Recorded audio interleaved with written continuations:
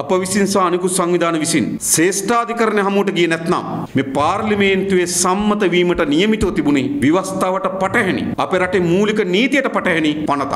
ආණ්ඩු උත්සාහ කරේ කුමක්? ශ්‍රේෂ්ඨාධිකරණය වෙත යාම සඳහා එක දිනයයි පමණක් ඉතුරු කරලා තිබුණේ. හැබැයි අප විසින් ශ්‍රේෂ්ඨාධිකරණයට යාම හේතු කොටගෙන අද මේ පනතේ වගන්ති 25ක් ආණ්ඩු ක්‍රියාවස්ථාවට පටහැනි බව ශ්‍රේෂ්ඨාධිකරණ විසින් නියෝගයක් ලබා දී තිබෙනවා. ආණ්ඩුවට යෝජනා කළේ මේ අවස්ථාවේ මේ වගේ අනතුරුදායක දෙයකට අත තියන්නේ නැතුව මුලින්ම රටේ ජනතාවගේ ජීවිත බේරගන්න. මේ කොරෝනා වසංගතයෙන් රට බේරගන්න. මේ ඔක්කොම අස්සේ අපි ලෝකයේ මහ බලවතුන් අපේ අල්ලපු ඉන්දියාව ඇතුළු රටවල් අපෙන් ඈත් කරගෙන මේ රටේ ජනතාව මොනතරම් අවාසනාවන්ත තත්ත්වයකටද මේ ගෙනියන්නේ? ඕනෑම අභියෝගයක් කරා ගමන් කිරීමේදී නව ප්‍රවේශයන් ඇති කිරීමේදී නව ආර්ථික දොරටු විෘත කිරීමේදී විවිධ අලුත් අභියෝග හා බලාපොරොත්තු කරා රට ගමන් කරවීමට අවශ්‍ය අධිෂ්ඨානය ඇතිව මේ පනත අපි සම්මත කිරීමට කටයුතු කරන්නට මහජන වරමේ විශ්වාසී ඉදිරියට ගෙන යනු. විරුද්ධ පක්ෂය බොහෝ විවේචනය කරනු. අපි